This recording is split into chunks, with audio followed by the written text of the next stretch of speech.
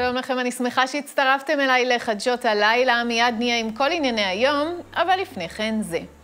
ישנו עם אחד מפוזר ומפורד, היושב בארצו הקטנטנה, לא מהודו ועד כוש, בקושי מדן ועד אילת, ובכל זאת, מפוזר ומפורד.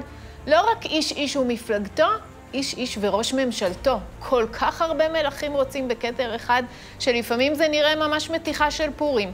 היום למשל, גדעון סער, שחתם על פצ'גן הכתב של אופירה וברקו שלא יושב תחת נתניהו, הודיע שהוא גם לא יושב תחת לפיד. בנט, שאמר שהוא לא יהיה ילד הכאפות של ביבי, אמר שהוא גם לא יושב תחת לפיד. ופתאום הבנתי את זה. אם לא נתניהו ולא לפיד, כנראה שהשניים רוצים את ראשות הממשלה לעצמם. ומאחר שנראה די בעייתי שיהיה מקום לכל כך הרבה ראשי ממשלה, וכיוון שאיש מאיתנו לא רוצה להיות גם בבחירות חמישיות עוד רגע, חשבתי על פתרון יצירתי. במקום שתהיה ממשלה עם תיקים מופרכים, כמו שר המים והשרה לקידום וחיזוק קהילתי, שיהיו ראשי ממשלה מופרכים. כבר למדנו שאפשר שיהיה ראש ממשלה פריטטי, אז כדי להשביע את רעבונם של כל המתמודדים שאצה להם הדרך, כולם יוכרזו ראשי ממשלה, כולם ירגישו שכתר אחשוורוש על ראשם. ואם זה נראה לכם מופרך או ונהפוך הוא, המדינה שלנו כבר שנתיים ב"ונהפוך הוא". בינינו, מה זה עוד שינוי קטן? ואולי העיר ירושלים תפסיק להיות נבוכה. ועכשיו, נשאר חדשות היום.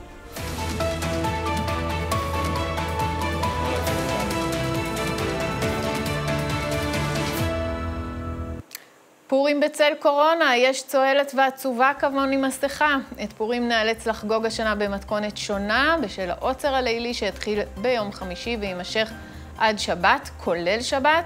העוצר יחול מהשעה שמונה וחצי בערב ועד חמש לפנות בוקר. נאסר על שהייה בבתים של אחרים, כמו כן תופסק התחבורה הציבורית הבין-עירונית מהשעה שמונה. ראש הממשלה נתניהו דיבר היום בבית החולים שיבא, תל השומר, בתדרוך לקראת פורים. ואפילו לקראת פסח. ובעזרת השם, בעזרתכם, אנחנו נעבור את פורים בשלום, כדי שנוכל לחגוג יחד את הפסח.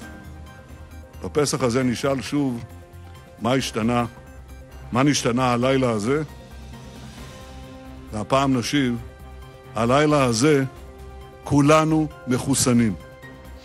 המשטרה נערכת לקראת העוצר הלילי. מפכ"ל המשטרה שבתאי הנחה שיש לפעול בהליכים פליליים לצד הקנסות לכל מי שמארגן התקהלויות בחג הפורים. לדברי שבתאי יהיו כוחות ייעודיים לאכיפה, אה, והוא אמר אה, שהם פועלים לסכל את כל האירועים הללו. עוד בעניין הקורונה, מליאת הכנסת אישרה היום חוק לפיו יועברו פרטים על אזרחים שלא התחסנו לרשויות.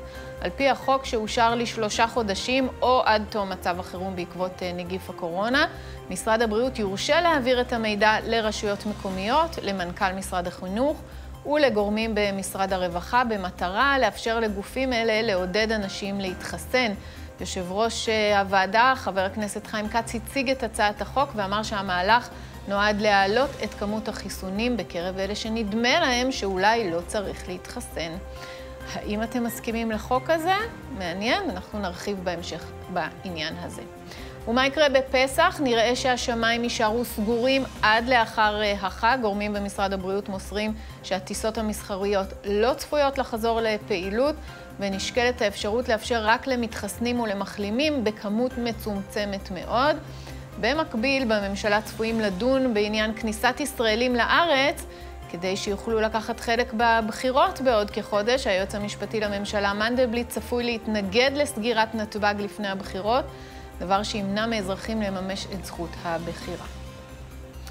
אסון הזפת, משרד הבריאות הודיע הערב על איסור של שיווק דגים ובעלי חיים ימיים מים התיכון עד להודעה חדשה, זאת בעקבות הזיהום הסביבתי הקשה. נכון לעכשיו, עדיין לא התקבלו ממצאים ממשיים המעידים על סכנה נשקפת מצריכת הדגים, ותוצאות הבדיקות צפויות להתקבל בימים הקרובים, אבל זה צעד שננקט כמניעה. השרה גמליאל אמרה היום שנפלטו לחופי ישראל לאורך 160 קילומטרים מאות טונות של זפת. יש לזפת הזאת כתובת, היא אמרה, וימוצה עימה הדין, ואנחנו אה, נקווה שכך. הבוקר, ניסיון פיגוע בצומת אה, יצהר, מחבל ניסה לפגוע בבנימין כהן שעמד בצומת, המחבל שלף סכין וניסה לדקור אותו. בנימין, כמו שאתם יכולים לראות בתמונה, הדף אותו בידיו החשופות. באתי כאן בצומת יצהר, תראו יצהר הגדולה, אני עומד פה הרבה, נוסע לישיבה. ופתאום הולך אליי איזה ערבי, הולך אליי לאט, אני לא מבין מה הוא רוצה, כשהוא מטר ממני שלף סכין אז התחלתי לצרוח עליו, להשתולל קצת, הבאתי איזה בעיטה באוויר, ראיתי שהוא קפא, אז ברחתי רצתי איזה 100-200 מטר למעלה, התקשרתי למשטרה, בינתיים הוא כבר הלך זהו, בא צה"ל, ומאז זה כל האירוע. יפה, ברכת הגומל. סורקים את ה... לוחמי צה"ל סורקים את האזור, והמצוד אחר המחבל נמשך. וגם זה קרה היום, קורס קצינים מסתיים היום בבה"ד 1, סוף סוף עם ההורים ולא בזום. מתוך כלל מסיימי הקורס, 22 בוגרי המכינה הקדם-צבאית בני דוד שבעלי. מה נגיד? קודם כל, מזל טוב לחיילים, וטוב שהניסיונות לסגור את המכינה לא צלחו. לסיום מזג האוויר, בימים הקרובים לא צפויים אה, שינויים במזג האוויר, בפורים מזג האוויר יהיה קריר, אבל גשם לא צפוי לרדת, כך שהתחפושות יישארו שלמות. עד כאן המבזק שלנו, ועכשיו הלל ביטון רוזן כתבנו מצטרף. שלום, לילה שלום, טוב. לילה כתבנו טוב, שרה. המדיני והפוליטי. לפני שנתחיל עם המדיני והפוליטי, בואו נדבר על משהו שקורה עכשיו, ממש בדקות אלה, בעיריית ירושלים. כן, אז uh, עשרות uh, קיצוניים הגיעו למקום, חלקם הצליחו לבצע ונדליזם במקום במחאה על, uh, כבר, מחאה שהיא מתקיימת כבר uh, כשבועיים, אנחנו רואים את התמונות כעת. Uh, בעצם למעלה מחודשיים אותם uh, קיצוניים מוחים על כך שתוואי הרכבת הקלה החדש צפוי לעבור בתוך שכונת בר אילן. הדבר uh, מפריע להם לטענתם, הם לא רוצים שאוכלוסייה חילונית, מסורתית, תעבור שם ברחובות ושהרכבת תעבור מסביב, ובעצם לא תעניק להם שירות שוויוני שיש לרוב תושבי ירושלים. Uh, המשטרה נמצאת במקום, סורקת ומנסה לאתר uh, חשודים. זה מה שידוע לנו עד כאן. אוקיי, מעניין. טוב, בואו נחזור uh, לדבר, ואנחנו כמובן נתעדכן תוך כדי. Uh, אין נפגעים באירוע כמובן. אוקיי, uh, בואו נדבר uh, קצת uh, פוליטיקה. היום, מה שהתייחסתי לפני רגע במונולוג, סער ובנט מודיעים לא יושבים תחת לפיד. מה הם רוצים בעצם? סער ולפיד רוצים, סליחה, סער ובנט רוצים להדיח את אה, נתניהו מראשות הממשלה. הם אה, מבינים שבדרך אה, דמוקרטית קלאסית יהיה מאוד קשה לעשות את זה, אז ככל הנראה הם יתאחדו לאחר הבחירות. הם לא הקימו רשימה אחת לפני, כי על פי כל סקר שהם ביצעו, הם הבינו שזה מחליש את שניהם, אבל ככל הנראה, אם לא יקרה משהו דרמטי, אנחנו נראה אותם משלבים כוחות לאחר הבחירות. ובעצם במטרה להוריד את לפיד מהאפשרות שהוא יהיה הראש ממשלה הראשון, או בכלל. בעצם... אבל הם, הם בעצם לפיד הוא עם המספר מנדטים הגדול ביותר נכון. משתי המפלגות האלה. וברגע שהם מתאחדים והופכים להיות בלוק טכני, אז למעשה לבלוק הזה יש את כמות המנדטים כנראה השנייה בגודלו. ואז הם מבקשים לקחת לעצמם מה, באופן פריטטי את ראשות הממשלה לשניהם? בדיוק. ואז הם באמת ינסו להוביל גוש, כולל את ליברמן, את לפיד, שבוודאות אה, ליברמן יתמוך אה, במהלך הזה, ביחד עם מרץ, העבודה, תשמע, כחול לבן שאולי תעבור. הקטע שאמרתי בהתחלה הוא היה בצחוק, אבל אני ממש מבינה שזה מה שהולך להיות. יהיו פה שלושה ראשי ממשלה מתחלפים, זה יהיה יכול להיות שהם גם יהיה שר ו... ובנט בלבד, אם בסופו של דבר לפיד יתרצה, אבל קשה לראות את זה. אבל בסופו של דבר חשוב להבין ולהגיד ולהסביר שהתרחיש בו תוחלף הממשלה בראשות נתניהו, הוא גדול יותר מאשר לאו, על פי תמונת המנדטים הנוכחית שמתבססת על סקרים. כן. בוא נראה דבר... דברים שאומר היום ראש הממשלה נתניהו בעניין. כן. גדעון ובנט, אלה כל הזמן מתחפשים. כל הזמן. הם אומרים, אנחנו, אנחנו לא נשב עם לפיד. הם עוברים מאולפן לאולפן, אנחנו לא נשב עם לפיד, לפיד לא יהיה אצלנו, הוא לא יהיה ראש ממשלה. שואלים אותם, מה אתה אומר על מזג אוויר? אנחנו לא נשב עם לפיד. בערב, מה יש לך להגיד על המצב הביטחוני? אנחנו לא נשב עם לפיד. הם מוכרחים להכחיש את זה, ואתם יודעים למה? הם לא יכולים בלי לפיד. טוב, אה, בואו נדבר על אה, הדיון שהיה היום אה, בעניין פסילת אבתיסאם מראענה. האמת שהייתה, לצורך העניין נקרא לזה הצגה טובה, כי שאלו אותה שאלות קשות, ועם כל זה היה ברור שהם לא הולכים לפסול אותה. חד משמעית, אה, וגם אה, אסתר חיות וגם אה, מני מזוז. השופטים. השופטים, שופטי העליון, שעמדתם לרוב ידועה ומוכרת, דווקא ניסו להקשות עליה. אני, אני חושב שגם הנשיאה חיות, על פי, הייתי בדיון, אמרה אפילו והשתמשה במילים חריפות כנגד גברת מראנה. ואמרה לה, אז למה למעשה כתבת את מה שכתבת? למה עד היום לא התנצלת? למה הסנגור שלך צריך להגיד שאת מתנצלת ולא את? אה, ואמרה, שמענו ממך מספיק, זו ממש אמירה שאני זוכר חזקה, אבל הסיכוי שהם יפסלו אותה הוא אפסי עד בכלל אה, לא קיים. אה, ובאמת, כפי שאת אומרת, היה שם פשוט הצגה יפה. אמירות חמורות שבעתיים משל הגברת מראנה, אם זה היבה יזבק ושאר תומכי הטרור אה, שחלקם נמצאים ברשימה המשותפת, לא פסלו אותה. תן, אה, תן לנו איזה ציטוט ככה, נקרא לזה עסיסי מהדיון הזה. למשל בעניין מה שאבתיסאם צוטטה, שהיא אמרה שמתחשק לה להחריב את זיכרון יעקב ולהחזיר את, את כולם לארצות הברית לפולין. לפולין, ודאי, כן, הרי זאת לא ארצנו על פי תפיסתה כנראה.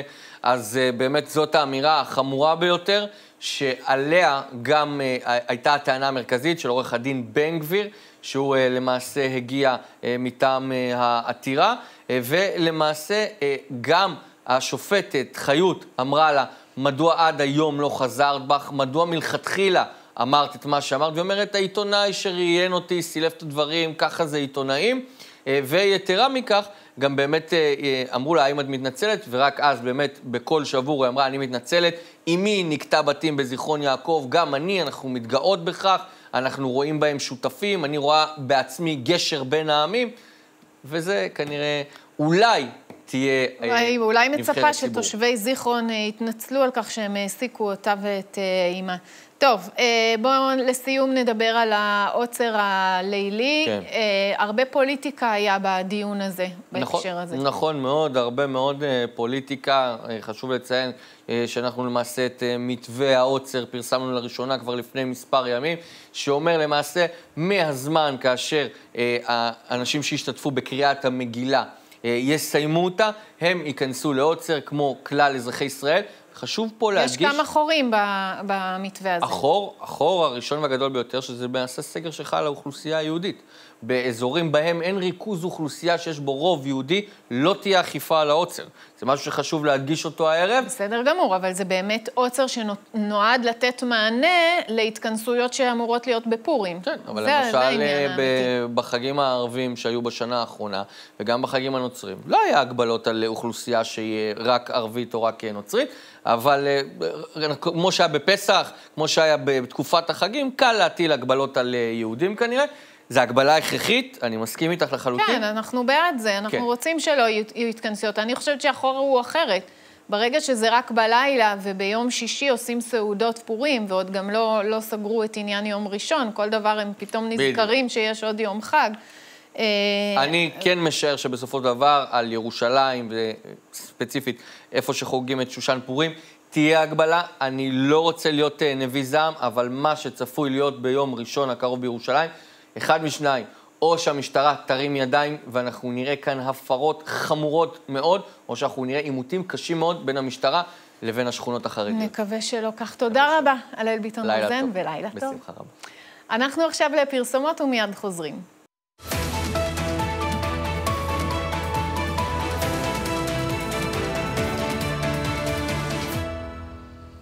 שבנו ומצטרפים אלינו שניים, אמנון שומרון, יועץ אסטרטגי בזליגר שומרון, לילה טוב לך.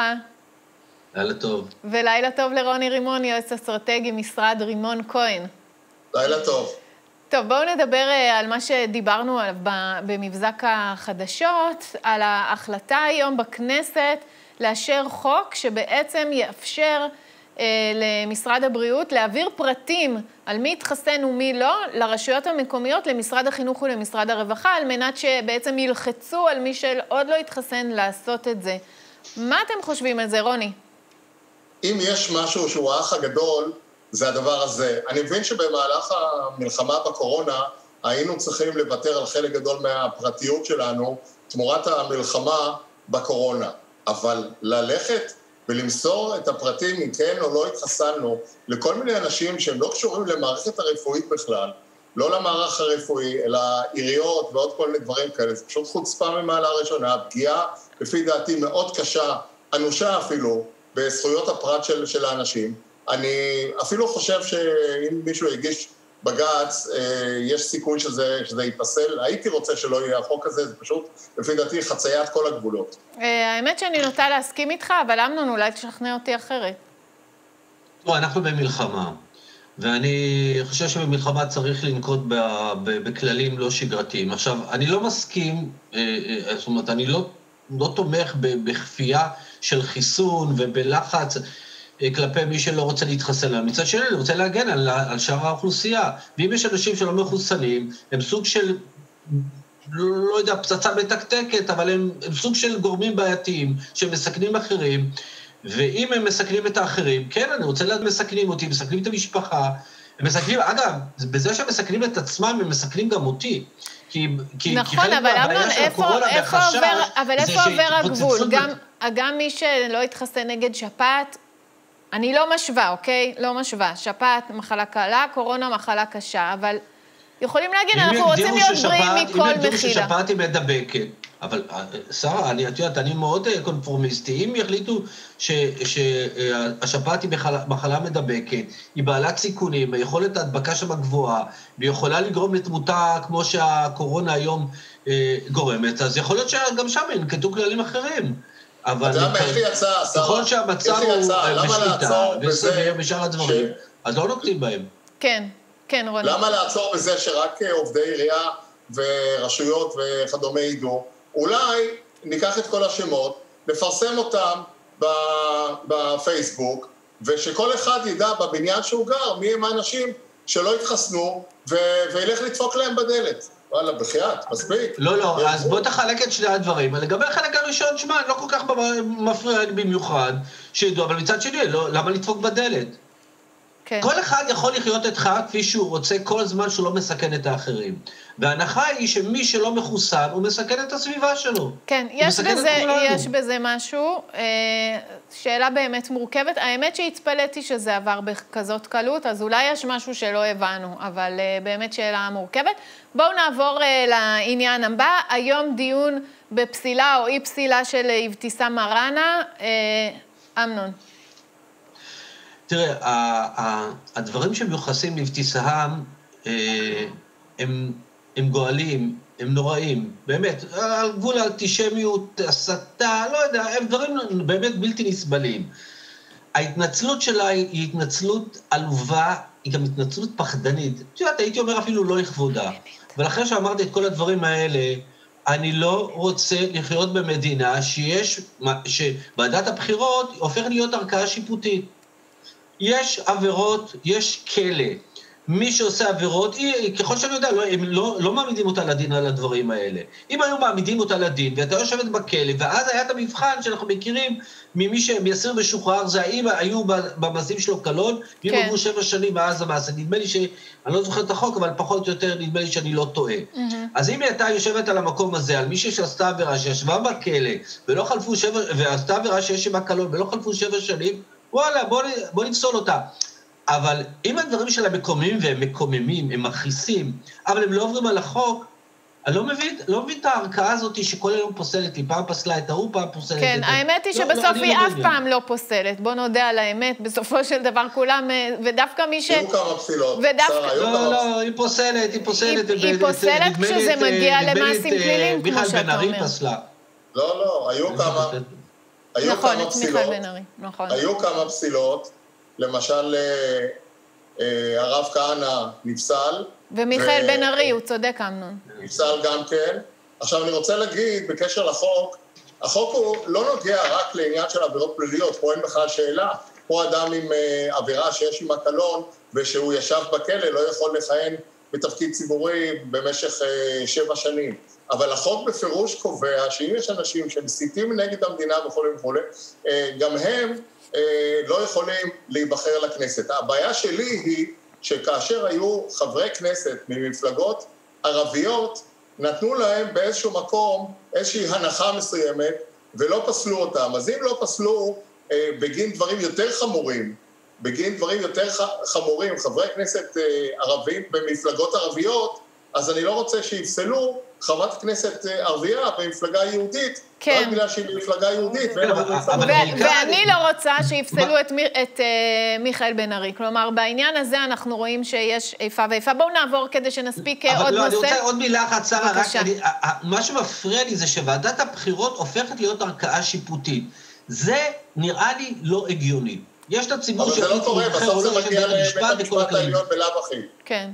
טוב, אוקיי, בואו בואו בסדר. נדבר על העניין אה, הבא. היום אה, גם סער וגם בנט הצהירו שהם לא ישבו תחת אה, יאיר לפיד. הנה דברים שאמר היום בנט. בסופו של דבר, אנחנו לא נשב בממשלה שבראשות השמאל. אין לנו בעיה שלפיד ישתתף בממשלה, והברירה בקלפי בסוף בסוף זה או המשך הדשדוש עם נתניהו, או שינוי וזינוק בהובלה שלי. הבחירות האלה... אבל אוקיי, אז אה, בנט רוצה את ההובלה, סער רוצה את ההובלה, לפיד רוצה את ההובלה, נתניהו רוצה את ההובלה. בואו נעשה אה, מה שנקרא, אה, אפשר לעשות פה נשף אה, מסכות. אה, קודם כל, אני רוצה לשאול אתכם, האם זה מתואם, אה, הדברים שגם אה, סער אומר היום וגם אה, בנט? אמנון.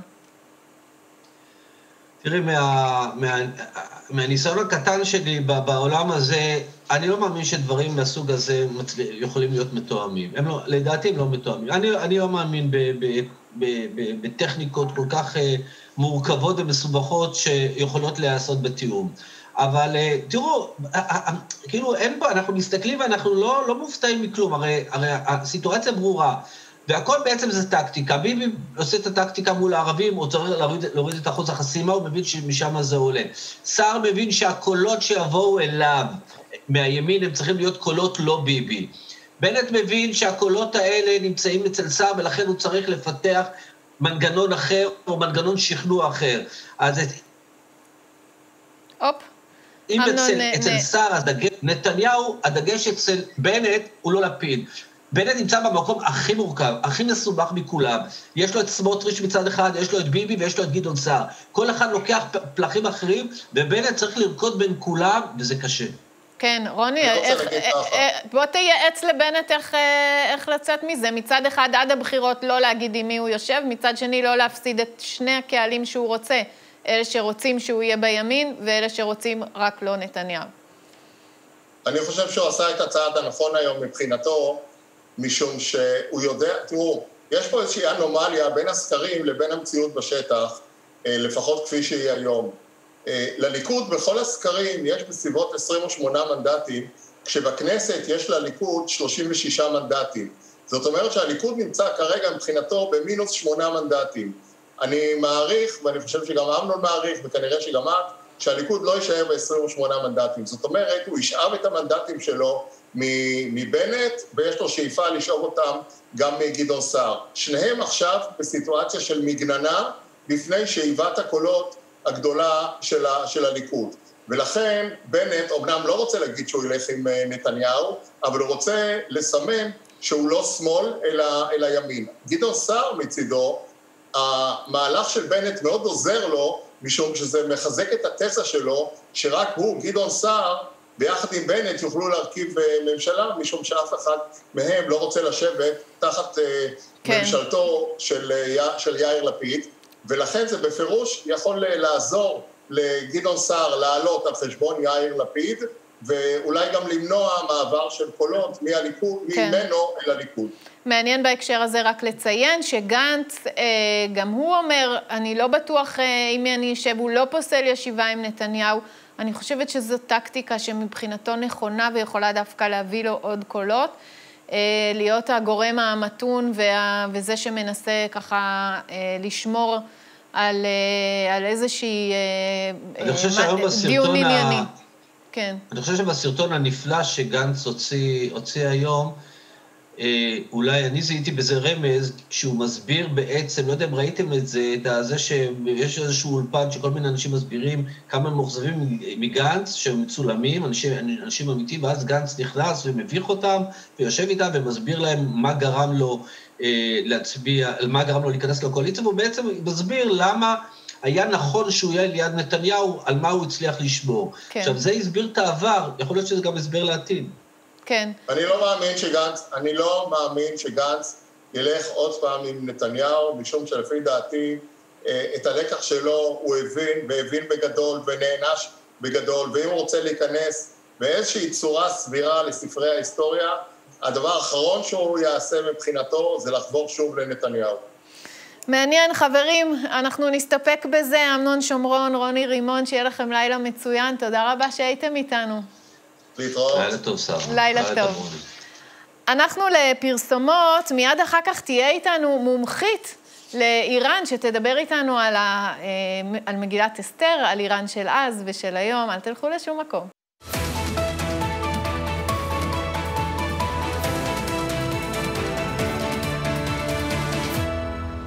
שבנו ואיתנו עכשיו דוקטור תמר אילם גינדין, מחברת מגילת אסתר מאחורי המסכה, אה, הספר על מגילת אסתר, מומחית לאיראן, מרכז עזרי ובעלת הפודקאסט איראני ומואשר, שלום לך, לילה טוב.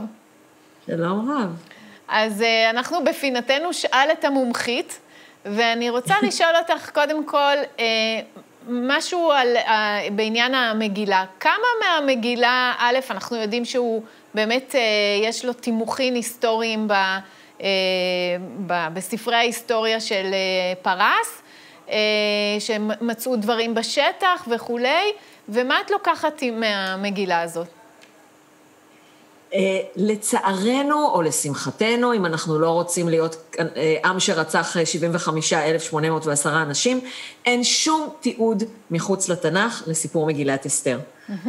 לא בכתובות הסלע של המלכים האחימנים, שזאת השושלת שאליה השתייך אחשורוש, לא אצל ההיסטוריונים היוונים, שניצלו כל הזדמנות ללכלך על הפרסים, ולא ניצלו את ההזדמנות הזאת אם היא הייתה, לא בשום אה, כתבים היסטוריים מסביב, חוץ מאשר בתנ"ך שלנו. אוקיי, אז זה... בתנ"ך אנחנו מאמינים.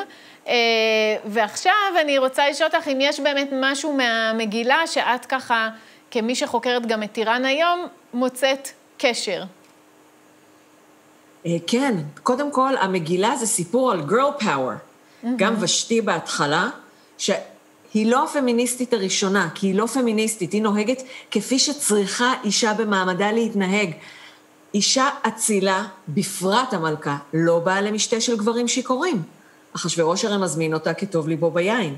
הוא בעצם נתן לה פקודה שגם אילו הייתה מצייתת וגם כשהיא סירבה, היא לא הייתה יכולה לצאת ממנה טוב. כן. אולי, הוא, אולי הייתה לו איזושהי תוכנית. אה, וגם אסתר. המן הרי מתחנן לאסתר שתסיר מעליו את רוע הגזירה, אחרי שאסתר אומרת לאחשוורוש שהמן הרע הזה הוא זה שרוצה כן. להרוג את כל עמה. גם באיראן של היום, אמנם, נש... אני מעדיפה לחיות כאן מאשר באיראן, אבל אם במדינה אסלאמית או במדינה, אה, במדינות האסלאם, אז איראן הרבה יותר מתקדמת אה, במעמד של הנשים מאשר מדינות אחרות. באמת? לנשים באיראן הייתה זכות הצבעה לפני שווייץ, mm-hmm. יש אה, סגנית נשיא, יש שגרירה, יש שרות. כרגע בממשלה הנוכחית לא, אבל היו שרות אפילו אחרי עליית הרפובליקה האסלאמית. פרס נובל היחיד של איראן הוא של אישה. מדליית פילד היחידה של איראן, זה המקבילה של, מתמ... של תחום המתמטיקה כן. לפרס נובל. גם של אישה. מעניין האישה ממש. היחידה שזכתה במדליית פילד זה איראנית. מעניין. בואי נדבר רגע על המן האגגי, בעצם אה, מלחמה של ישראל בעמלק, כן? אה, נכון, אגג היה מלך עמלק. שאול לא השלים את העבודה, אז מרדכי, בן יאיר בן שמעי, בן קיש איש ימיני, מאותה משפחה של שאול, הוא זה שצריך uh, להשלים את העבודה. צריך לסגור מעגל, וכל הדבר הזה לא קורה בארץ, מה ששאול אה, התחיל, אלא קורה בתפאורה הפרסית. נכון. והתפאורה הפרסית מתוארת בדיוק היסטורי מאוד מאוד גדול, כלומר, גם אם uh, אנחנו מניחים שזה היה באמת, ופשוט אולי הסופר המקראי הגזים וזה לא היה בהיקף מספיק גדול כדי להיכתב בספרי הזיכרונות או בהיסטוריה היוונית. אה, וגם אם אנחנו מאמינים שזה מיתוס מזרח תיכוני קדום שגויר לצורך החג הזה, זה לא משנה מה האמונה שלנו. התיאור ההיסטורי של חצר המלך מאוד מאוד מדויק. המלך הוא מלך אמיתי, אחשורוש, חירשה הראשון, מלך בין 486 ל-465 לפני הספירה. אז אנחנו יכולים את האירועים של פורים ממש לתארך לפברואר-מרץ כזה, אה, של שנת 475 לפני הספירה. כן, אז זה בהחלט, שושן. כן, את אומרת שזה ממש ממש אה, מתאים. אה, ת, תגידי על שושן, ואז אני אביא עוד, עוד נקודה אחת כן, לפני סיום. שושן הייתה בירת החורף של המלכים האחימנים. אנחנו, עד היום יש תל בעיר שנקראת שוש ויושבת אה, על גבול אה, עיראק בערך, mm-hmm. אה, שבו אנחנו יכולים לראות ממש את הבירה, שזה מבצר, ואת העיר התחתית. אה, העיר קיימת אה, עד היום.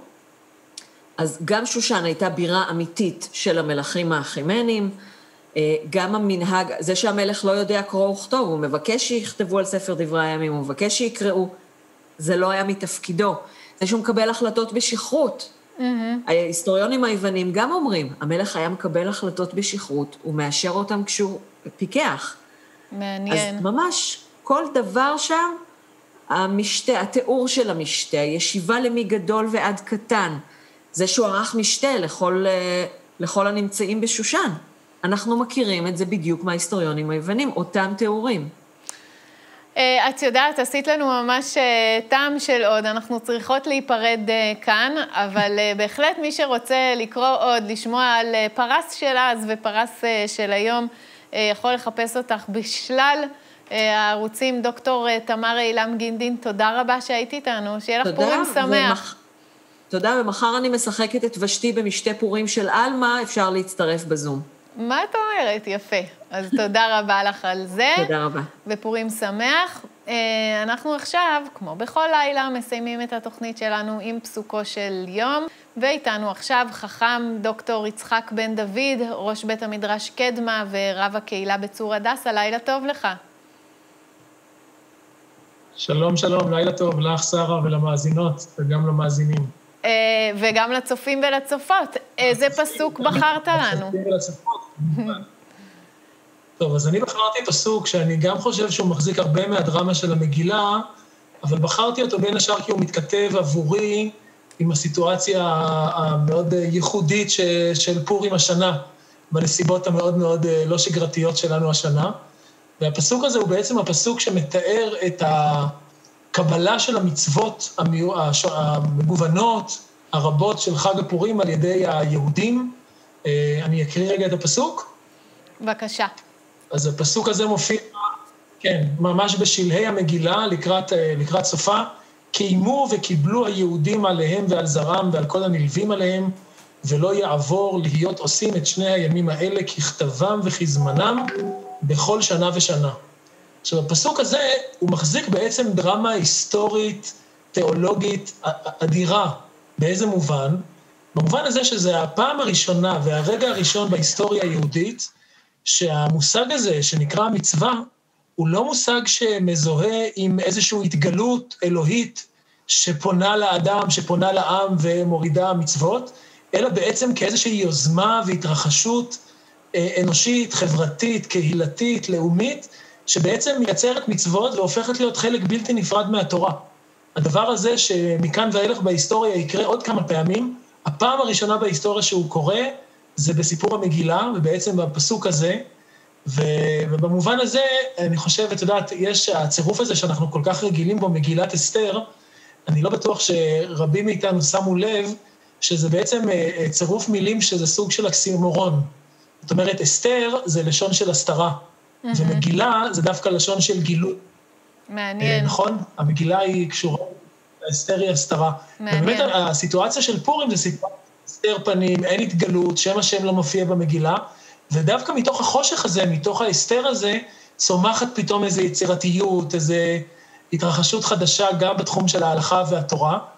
ואני חושב שזה מתכתב עם החוויות שלנו בקורונה, שסך הכל אנחנו מסכמים עכשיו שנה שלמה של תקופה מאוד מאוד אה, לא פשוטה עבור כולנו, אבל יש בה גם צד של כל מיני דברים חדשים שגילינו על עצמנו, על האופן שבו אנחנו נמצאים בעולם, על כל מיני כן. אה, אה, יוזמות או תהליכים חברתיים שקרו וקורים וימשיכו לקרות, ובמידה רבה זה גם הסיפור של המגילה. איך מתוך סיטואציה של טראומה, של משבר, של הסתר פנים, יש גם איזשהו פרץ של יצירתיות שממשיך הרבה הרבה אחרי שסיפור המגילה... וואו. אה, הלוואי, הלוואי שנגלה מה הגילוי הזה שבא, שיוצא לנו מתוך אה, משבר הקורונה. אה, בכל מקרה, נודה לך עכשיו, חכם דוקטור יצחק בן דוד, שהיית איתנו, שיהיה לך לילה טוב, פורים שמח, וגם צום קל מחר בתענית אסתר. שמח לכולם, תודה. להתראות. ולילה טוב גם לכם להתראות.